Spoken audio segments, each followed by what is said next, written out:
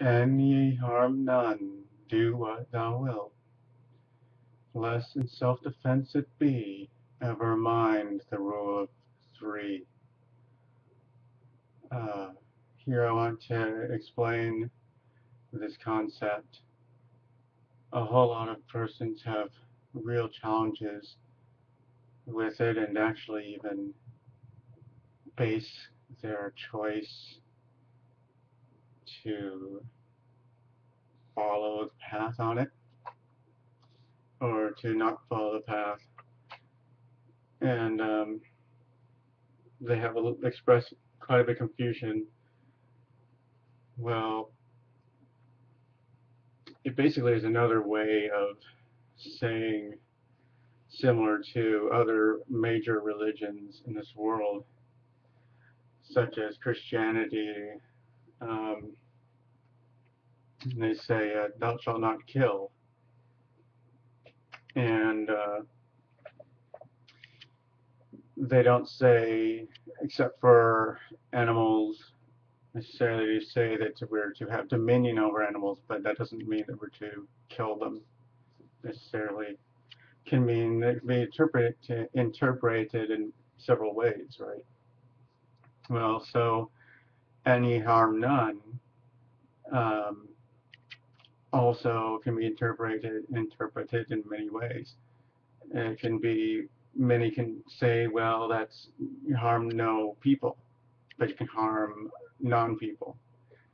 Um, others will say that you don't want to harm people and you don't want to harm other species, non-people. Um, some will say it's a law. Others will say it's a rule. Others will say it's a guideline. Um, really, what it comes down to is that we're in a world that is, it does have rules um, and laws, and I'm not speaking about person-made ones, I'm talking about divinely made ones, natural made ones, uh, physically made ones such as energy always being in motion, vibration, always altering, always changing. So we're we come into this world by causing harm to someone. Um, there's a fine, fine, really fine line between pleasure and what we consider pleasure and what we consider pain. Uh, hence, when people are experiencing pleasure, they're often wincing even or making really odd faces, sometimes even crying out or moaning. I don't want to get graphic, graphic, but the hint has been planted. So um, sometimes people scream. Uh, well, these expressions are also expressed when somebody is experiencing something that others express as pain. Um, when we're hurting really bad, we moan. When we're being cut, we may scream. Um, and so there, again, it's a very fine line, right? So when we're being born into this world, we sometimes are tearing tissue of the person who's birthing us. We sometimes all inevitably really will be hyper stretching it or whatever, right? We're going to be causing a significant amount of suffering while we're being moved into this world. Um, so right there we have brought harm to someone simply through being born. And um, then uh, they live through it, hopefully, um, and they may have scars the rest of their lives. Um, generally, our body has a way, our brain has a way of secreting chemicals that help counteract the pain and sort of trick us into believing afterwards uh, that it's blissful, it's wonderful, and we're in a euphoric place. Um, and sometimes, uh, of course, that's medically induced.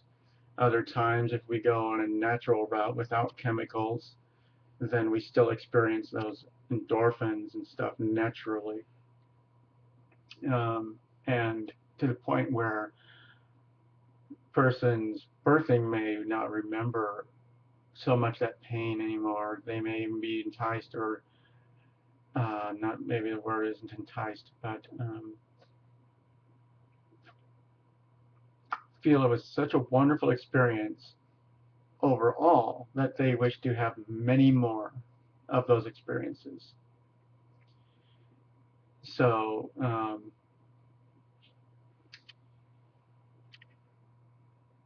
to put it in a nutshell, obviously there is no actual literal literal way that you or I or any other species in this planet, in this universe, universal existence in this material form uh, are going to be able to literally harm none ever.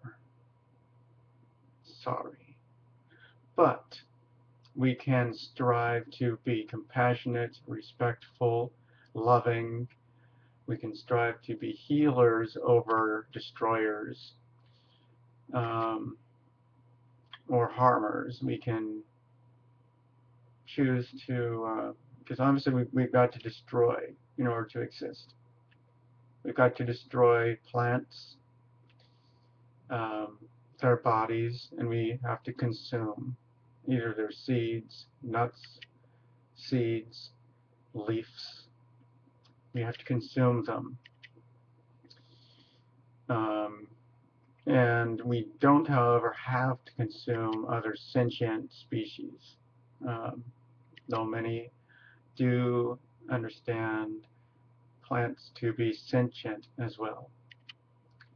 That means they're self-aware. Um, there's a possibility. On that note um, there are different forms of consciousness.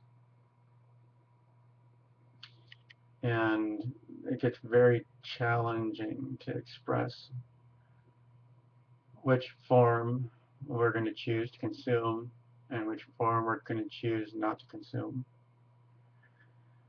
uh, anyway,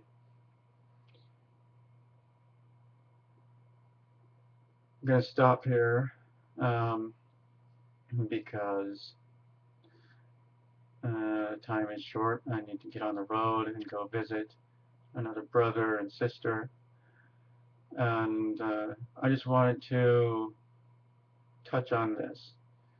Harming none is um, something to strive for. It is not something that is attainable while we're in our material bodies in this material world, which is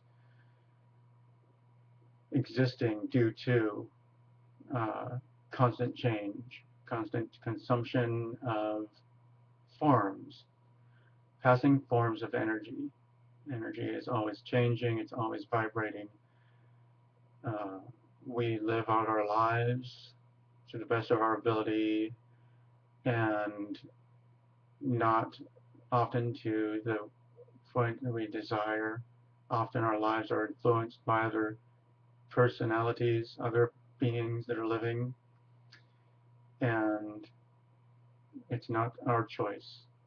So we did not will it, we are not happy with it necessarily, but it is how we are to live and experience life. And our goal, of course, is to experience life as we will be comfortable and happy and satisfied with. So that is part of the logic in harming none, doing what you will, um, while doing it in the least harmful way. Um, regardless of that, we're going to still be destroying other energy beings in order to sustain our own being.